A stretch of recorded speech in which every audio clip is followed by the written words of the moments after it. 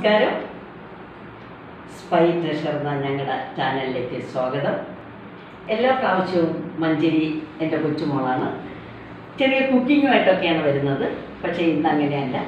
ഇന്ന് ഞങ്ങളുടെ ഒരു സൗഹൃദ കൂട്ടായ്മയിൽ ഞങ്ങളുടെ നല്ലൊരു ഫ്രണ്ട് അനിൽകുമാറിന്റെ വീട്ടിന്റെ പാലുകാച്ചൽ ചടങ്ങിലേക്കുള്ള യാത്രയാണ്.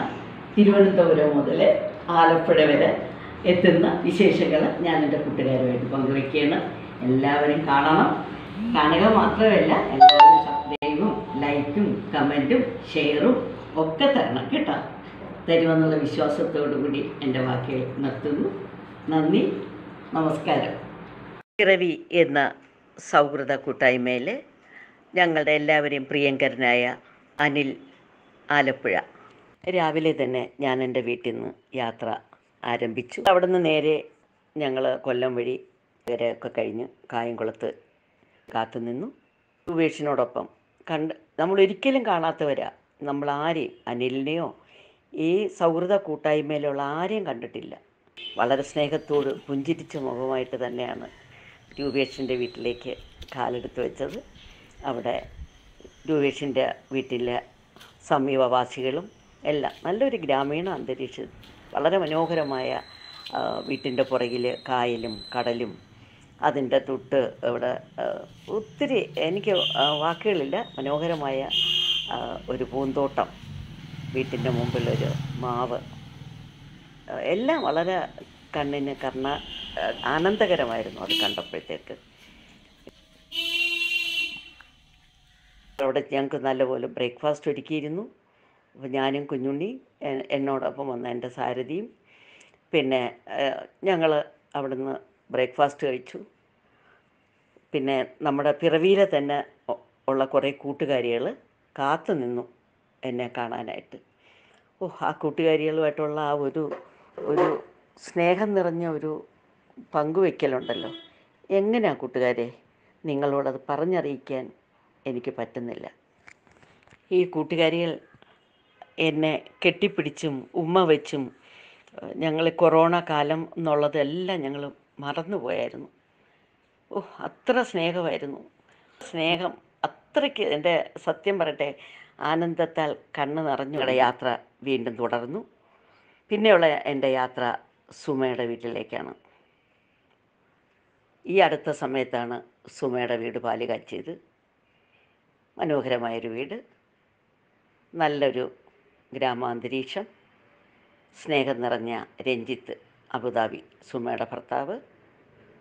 സുമ സ്നേഹം നിറഞ്ഞ സുന്ദരിയ സുന്ദരിയും സുന്ദരനുമായ രണ്ട് മക്കൾ ചേച്ചിമാർ അനിയത്തി അനിയത്തി വലിയമ്മയുടെ മക്കൾ അവിടെ ഒരു ഒരു സംഘം ആൾക്കാർ ഞങ്ങളെ കാത്തിരുന്നു. അവിടെയും അതിമനോഹരമായ ബ്രേക്ക്ഫാസ്റ്റ് വീണ്ടും ഒരു രാവിലെ ഞങ്ങൾ രണ്ടിടത്തു നിന്നാണ് ബ്രേക്ക്ഫാസ്റ്റ് കഴിച്ചത്. നിങ്ങളിത് കാണുന്നില്ലേ? അയ്യോ എന്തൊക്കെ ഐറ്റം എന്നാണെന്നറിയാം ദൈവമേ ഇതൊക്കെ കഴിച്ചു തീരുമോ കഴിച്ചു തീരാൻ പറ്റത്തില്ല. അത്ര മാത്രം ആ, മനോഹരമായ ബ്രേക്ക്ഫാസ്റ്റ് അവിടെ നിന്ന് കഴിച്ചു. കഴിക്കാൻ പറ്റുന്നത് കഴിച്ചു. അത് കഴിഞ്ഞ് അവരോടും കുറച്ച് നേരം ചില പ്രശ്നങ്ങൾ നടത്തി കുറച്ച് വീഡിയോസ് എടുത്ത്. അവിടെയും പിന്നെ നമ്മുടെ സുമേട മകൻ ഓടി നടന്ന് വീഡിയോ എടുത്ത്. കുഞ്ഞുണ്ണി അതുപോലെ തന്നെ അവനെ അവിടെ എല്ലാവരും വാനോളം വാഴ്ത്തി. ഇത് കണ്ടോ? രഞ്ജിത്ത് എന്റെ പടം വരച്ചതാണ്. മനോഹരമായിട്ട് എന്റെ ഇതുവരെ ഇത്രയും മനോഹരമായിട്ട് എന്റെ ഒരു പടം ആരും വരച്ചിട്ടില്ല. എന്റെ ഒരു പടം വരച്ചു. വളരെ വലുതായിട്ട് തന്നെ വരച്ച് അത് ഫ്രെയിം ചെയ്ത് എനിക്കവിടെ വെച്ച് ഇത് കണ്ടോ? ഇതാ രഞ്ജിത്ത് സുമയും എന്റെ പ്രിയ കൂട്ടുകാർ പിറവിയുടെ പേരിൽ എനിക്ക് സമ്മാനിച്ചു. അവരെ രണ്ടുപേരെയും ഞാൻ സ്നേഹത്തോടു കൂടി ഞാൻ ചേർത്ത് പിടിച്ചു. അവിടെയൊക്കെ സന്തോഷം കൊണ്ടുള്ള സങ്കടമാണ് വരുന്നത് എന്റെ ശബ്ദത്തിലാണെങ്കിലും. കാരണം എനിക്കതൊക്കെ മറക്കാനാവാത്ത നിമിഷങ്ങളായിരുന്നു. അങ്ങനെ എല്ലാവരുമായിട്ട് സംസാരിച്ചു എല്ലാവരും ഫോട്ടോസ് എടുത്തു. പിന്നെ അവിടെ നിന്ന് മുറ്റത്തേക്ക് ഇറങ്ങുമ്പോൾ ഞാൻ പിന്നെ വീട്ടിൽ വന്നപ്പോഴാണ് ഇതൊക്കെ അറിയുന്നത് കേട്ടോ. എന്റെ ഡിക്കിക്കകത്ത് നിറയെ സുമയുടെ വീട്ടിൽ കാച്ച ഫലവൃക്ഷങ്ങൾ പലതും എന്റെ കാറിന്റെ ഡിക്കിയിൽ നിറച്ചിരുന്നു. പക്ഷേ സത്യം പറയട്ടെ ഞാനത് എന്റെ വീട്ടിൽ രാത്രി വന്നപ്പോഴാണ് ഞാൻ അതൊക്കെ കണ്ടത്.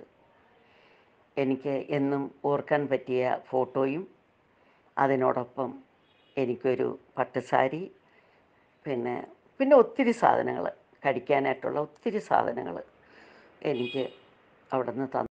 അവിടുന്ന് ഞങ്ങളുടെ യാത്ര സുമയുടെ വീട്ടിൽ നിന്ന് ഞങ്ങൾ യാത്ര തുടർന്നു.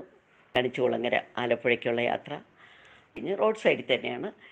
നല്ല തലയുയർത്തി നിൽക്കുന്ന മനോഹരമായ ഒരു ഇരുനില വീട്. നമ്മൾ ദൂരെ നിന്ന് വരുമ്പോഴേ തന്നെ കാണാം വെള്ള തേച്ച കംപ്ലീറ്റ് വെള്ളയാൽ പൊതിഞ്ഞ ഒരു വീട്. വീട്ടിന്റെ വാതൊക്കെ നമ്മളെത്തി.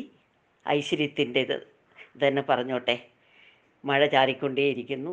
ആ മഴ നനഞ്ഞുകൊണ്ട് തന്നെയാണ് അനിലിന്റെ. അമ്മ ഞങ്ങളെ കാത്ത് നിൽക്കുമായിരുന്നു അവിടെ. ഇരിക്കുമായിരുന്നു വീട്ടിന്റെ ഫ്രണ്ടിൽ. ഡോറ് ഗേറ്റ് അങ്ങോട്ട് തുറക്കുന്നതിന് മുമ്പ് തന്നെ ഞങ്ങളുടെ കാറ് കൊണ്ട് നിർത്തിയപ്പോൾ തന്നെ ആദ്യം കണ്ട കാഴ്ച നല്ല നാല് ചുറ്റും വലിയ മതിൽ കെട്ടിയിരിക്കുക ആ മതിലിന്റെ അരികിൽ നിറയെ തുമ്പപ്പൂ നിൽക്കുന്നു. അയ്യോ എന്തൊരു മനോഹരമായൊരു കാഴ്ചയായിരുന്നെന്നറിയോ? എന്റെ കുട്ടിക്കാലത്ത് മാത്രം ഞാൻ കണ്ടിട്ടുള്ളതാണ് ഓണക്കാലത്ത് ഈ തുമ്പപ്പൂ. അപ്പോൾ അറിയാതെ തന്നെ എന്റെ മനസ്സിൽ വന്നു. തുമ്പപ്പൂ പെയ്യണ പൂനീലാവേ ഏന് നെഞ്ചു നിറയണ പൂക്കിനാവേ. എത്ര നാളു കൊതിച്ചിരുന്നു നിന്റെ വീടൊന്നു കാണുവാൻ കാത്തിരുന്നു. നിന്റെ വീടൊന്നു കാണുവാൻ കാത്തിരുന്നു. സത്യം പറയട്ടെ കൂട്ടുകാരെ ആ വീടൊന്നും കാണാൻ വീട് വെച്ച ആറര വർഷം കൊണ്ട് പ്രവാസിയായിട്ട് അന്യനാട്ടിൽ കഴിയുന്ന നമ്മുടെ അനിൽകുമാറിന് ആ വീട് ഇതുവരെ കാണാൻ പറ്റിയിട്ടില്ല. പുള്ളി വീട് പണിയുന്നതൊക്കെ വീഡിയോയിൽ അതൊക്കെ കണ്ടിട്ടുണ്ടെന്നല്ലാതെ പക്ഷേ ആ വീട്ടിൽ ആദ്യമായിട്ട് വലത് കാലി വെച്ച് കയറാൻ പിറവിയിലായ ഞങ്ങൾക്ക് ഇത്രയും പേർക്ക് കഴിഞ്ഞു. ഒരുപാട് സന്തോഷം. ആ വീട്ടിന് പേരും ഇട്ടിരിക്കുന്നു പിറവി എന്നാണ്. എത്ര മനോഹരമായ പേരല്ലേ? പിന്നെ ഞങ്ങൾ കയറുമ്പോൾ അമ്മ വാതക്കലിൽ നിന്ന് ഞങ്ങളെ സ്വീകരിക്കുന്ന കാഴ്ചയാണ് ഇനി നിങ്ങൾ ഈ കാണുന്നത്.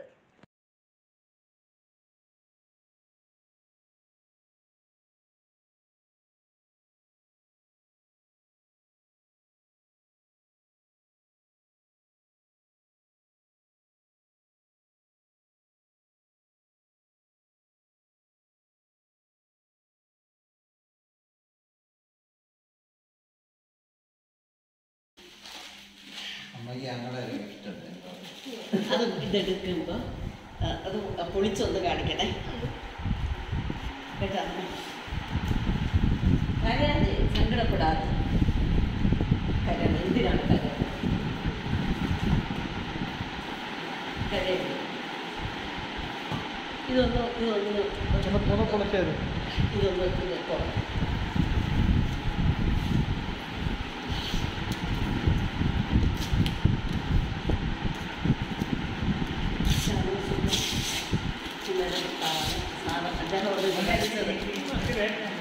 ഒരു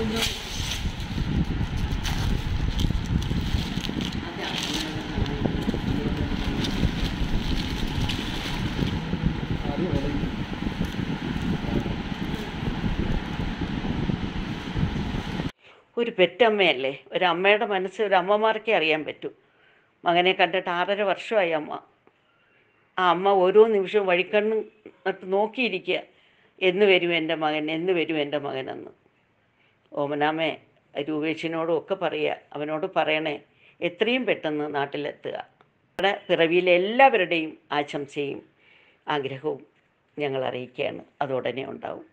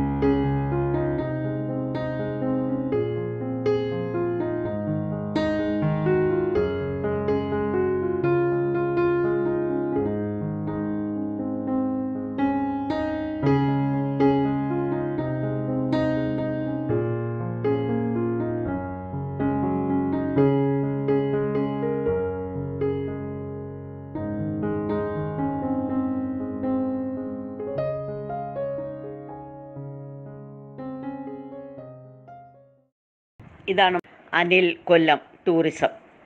ഇദ്ദേഹം രണ്ട് മണിക്കൂറാണ് ഈ എന്താ റോഡിൽ എന്നെ കാത്തു നിന്നത്. എന്നെ എന്നെ കാണാൻ വേണ്ടിയിട്ട് കാത്തു നിന്ന ഒരു ഫോട്ടോയാണ്. ആ റോഡിൽ വെച്ചെടുത്തതാണ്. രണ്ട് മണിക്കൂറാണ് അദ്ദേഹം റോഡിൽ. കാരണം ഞാൻ വരാൻ വൈകിയപ്പോൾ കാത്തു നിന്നൊരു ഫോട്ടോയാണിത്. ഈ ഫോട്ടോയിൽ കാണുന്നതാണ് പ്രിയപ്പെട്ട വിനോദ് കായംകുളം പ്രവാസിയാണ്. എന്നെ ഒരു അമ്മയെപ്പോലെ സ്നേഹിക്കുകയും ബഹുമാനിക്കുകയും ചെയ്യുന്ന പ്രിയപ്പെട്ട വിനോദിനെ എനിക്കൊരിക്കലും മറക്കാൻ പറ്റത്തില്ല. വിനോദിനോട് കുടുംബത്തിനോട് എനിക്കുള്ള സ്നേഹം നന്ദി കടപ്പാട് ഒക്കെ അറിയിക്കുന്നു. സന്തോഷം.